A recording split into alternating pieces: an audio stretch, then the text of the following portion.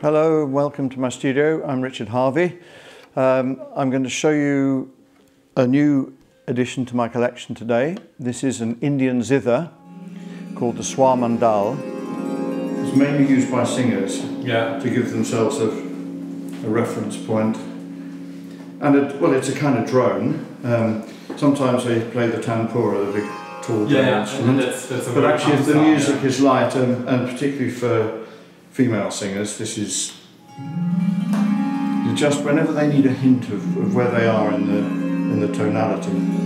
But it's actually tuned to the scale or raga that's being used at the time. This one has the raga which has the the fourth tuned that little bit higher, and um, it's a, actually very old instrument. Uh, it's been used for centuries in Indian music, and I've been talking to my dear friends from Orchestral Tools about where we might go in the world of Indian music because some instruments are quite difficult to sample, not, dare I say, not impossible, but other instruments will immediately give you the tonality and the atmosphere of Indian music.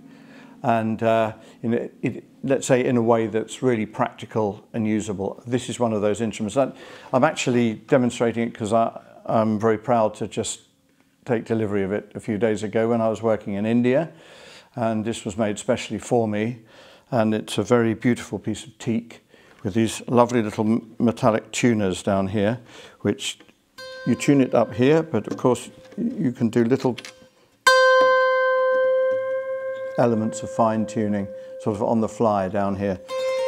It's got a three octave range and the keynote of the, the rag is always available to you here. Just as a pair of strings always tuned to the same and then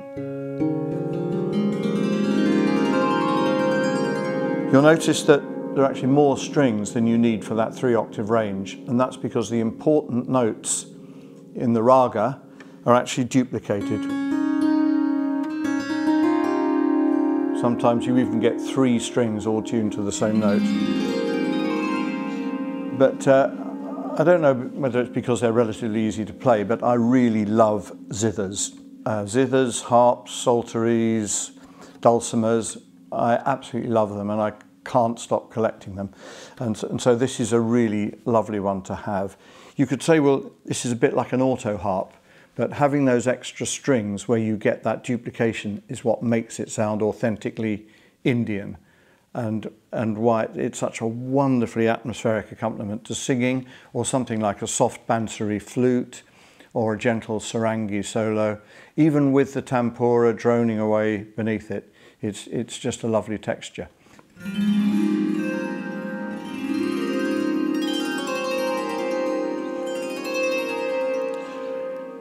Actually, you do hear the sound quite a lot in uh, what we like to call Bollywood film scores, um, just in the scores from good Indian movies.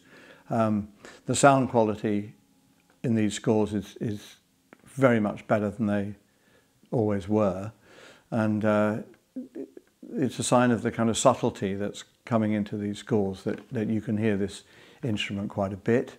Um, it, it always used to be rather loud and rather brash and, and, and, and, and fairly incessant, but now there's a lot of light and shade, and this is a really key instrument in that art form.